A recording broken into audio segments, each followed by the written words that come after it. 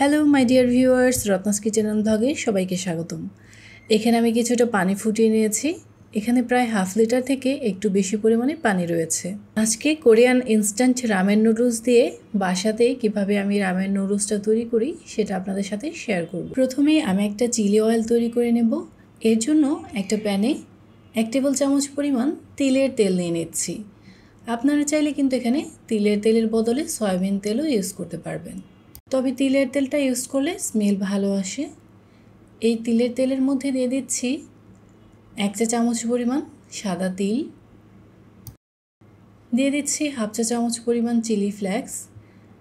তেলের কালারটা আরেকটু লালচে করার জন্য এর সাথে অ্যাড করে দিচ্ছি ওয়ান ফোর চা চামচের মতো শুকনো মরিচের গুঁড়ো। এবার সবগুলো উপকরণ তেলের সাথে একটু ভালোভাবে মিক্স করে এটাকে চুলা থেকে নামিয়ে নিচ্ছি।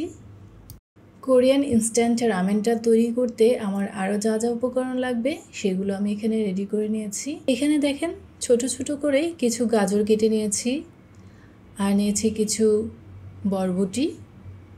এখানে নিয়েছি একটা ডিম, আর নিয়েছি একটা মিডিয়াম সাইজের পেঁয়াজ। পেঁয়াজটা কুচি করে কেটে নিয়েছি। আর যেই তেলটা আমি এখন তৈরি করলাম, সেই তেলটা। এছাড়াও এখানে নিয়েছি এক packet Korean instant ramen noodles. যে কোনো সোপা শপে গেলেই আপনারা কিন্তু এই ইনস্ট্যান্ট রামেন নুডলসটা পেয়ে যাবেন। হাতের কাছে যদি এই রামেন নুডলসটা নাও পান, এখন কিন্তু বাজারে বিভিন্ন ধরনের, বিভিন্ন ব্র্যান্ডের স্পাইসি নুডলসগুলো পাওয়া যায়। সেগুলো দিয়েও কিন্তু আপনারা রামেন নুডলসটা তৈরি করে নিতে পারেন।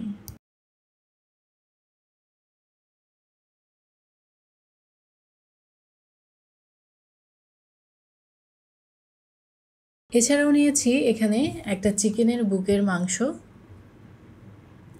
যেহেতু আমরা কোরিয়ান না, তাই আমি চিকেনটাকে আমার নিজের টেস্টের সাথে যায় এমনভাবে প্রিপেয়ার করে নেব। তো আমি এখানে চিকেনটাকে পাতলা পাতলা করে স্লাইস করে কেটে নিচ্ছি। এরপর কিছু মশলা দিয়ে চিকেনটাকে ম্যারিনেট করে নেব। এই তো আমার চিকেনের পিসগুলো পাতলা করে কেটে নেওয়া হয়ে গেছে। যাতে সবগুলো মশলার ফ্লেভার চিকেনের মধ্যে ছড়িয়ে যায়। দিচ্ছি এক চা চামচ পরিমাণ আদা রসুন বাটা, দিচ্ছি হাফ চা চামচ পরিমাণ লবণ আর হাফ চা চামচ পরিমাণ গোলমরিচের গুঁড়ো। দিয়ে দিলাম ওয়ান ফোর চা চামচের মতো শুকনো মরিচের গুঁড়ো আর এক চা চামচের মতো দিয়ে দিচ্ছি সয়া সস এবার এগুলো চিকেনের সাথে ভালোভাবে মিক্স করে নিয়ে দশ মিনিটের জন্য রেস্টে রেখে দিচ্ছি।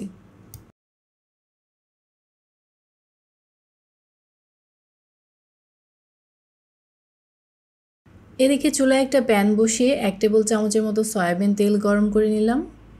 এবার মশলায় ম্যারিনেট করে রাখা চিকেনের পিসগুলোকে এই তেলের মধ্যে দুই পাশ ভালো করে ভেজে নেব। এই তো ছয় থেকে সাত মিনিটের মতো ভেজে নিলেই কিন্তু হয়ে যাবে। যেহেতু চিকেনের পিসগুলো আমি পাতলা করে কেটেছি, তাই এটা কুক হতে আর বেশি সময় লাগবে না। আর বেশি সময় কুক করলে চিকেনটা এমনিতে একটু হার্ড হয়ে যাবে। চিকেনের একটা পাশ যখন একটু ভাজা হয়ে আসছে, এই পর্যায়ে আমি দিয়ে দিচ্ছি এক টেবিল চামচ পরিমাণ বাটার। বাটার দিয়ে চিকেনের চারপাশে একটু ছড়িয়ে দিচ্ছি।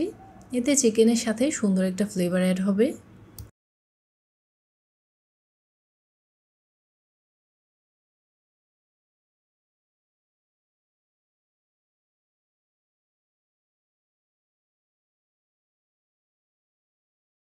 এই তো দেখেন চিকেনের দুই পাশটা সুন্দর করে ভেজে নেওয়া হয়ে গেছে। তো এবার আমি চিকেনগুলোকে তুলে নিচ্ছি। এবার সে একই বাটার আর তেলের প্যানে দিয়ে দিচ্ছি ভেজিটেবলসগুলো। দিয়ে দিচ্ছি পেঁয়াজ কুচি, গাজর আর বরবটি। এগুলো দুই মিনিটের মতো একটু তেলের উপর নেড়ে চেড়ে সতে করে নেব।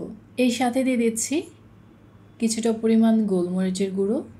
আর দিয়ে দিচ্ছি কিছুটা লবণ।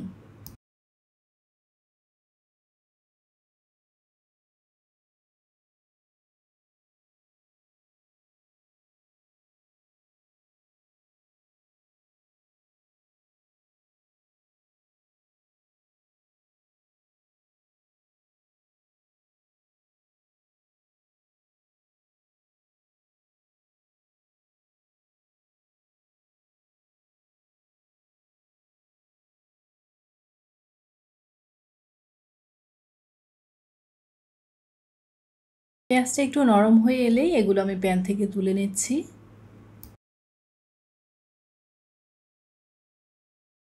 এবার প্যানে দিয়ে দিচ্ছি আগে থেকে ফুটানো হাফ লিটার পরিমাণ পানি।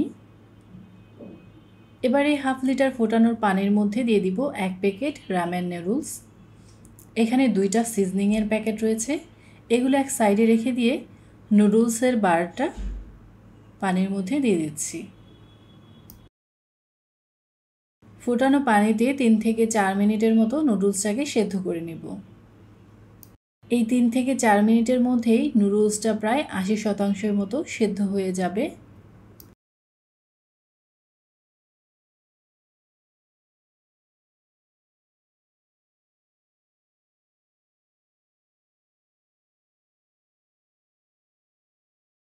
নুডলসটা প্রায় আশি পার্সেন্টের মতো সেদ্ধ হয়ে গেছে। এবার এগুলোকে আমি পানি থেকে তুলে নেব। আর এই পানিটা কিন্তু ফেলে দেওয়া যাবে না। এই পানি দিয়েই নুডলসটাকে সুপি তৈরি করতে হবে। নুডলস সেদ্ধ করা এই পানিটাকে এক পাশে ঢেকে রেখে দিব, যাতে পানিটা একটু বেশিক্ষণ ধরে গরম থাকে।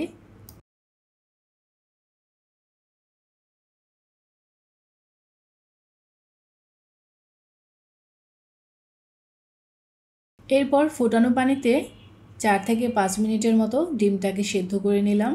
এবার একটা পাত্রে নুডলস সেদ্ধ করার যে পানিটা রয়েছে, সেই পানিটা নিয়ে নিলাম। এবার এই পানির সাথে অ্যাড করে দিব রামের নুডলসের সাথে যে সিজনিংসগুলো ছিল সেগুলো।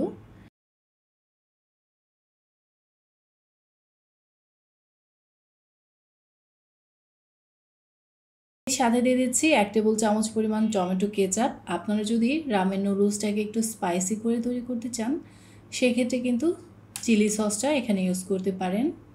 এবার এই স্যুপের মধ্যে দিয়ে দিচ্ছি সেদ্ধ করে রাখা নুডলস।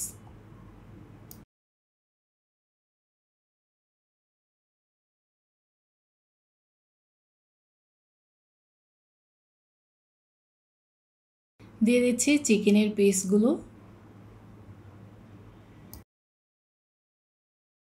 এরপর এক পাশে দিয়ে দিচ্ছি ভেজিটেবলস। দিয়ে দিলাম সেদ্ধ করে রাখা ডিম। সব শেষে অ্যাড করে দিচ্ছি যেই চিলি অয়েলটা তৈরি করেছিলাম সেটা। তো প্রিয় দর্শক এই মাঝে কিন্তু তৈরি হয়ে গেছে আমার আজকের টেস্টি ইনস্ট্যান্ট রামেন নুডলস আশা করছি আমার তৈরি আজকের এই ইনস্ট্যান্ট রামেন নুডলসের রেসিপিটি আপনাদের ভালো লেগেছে।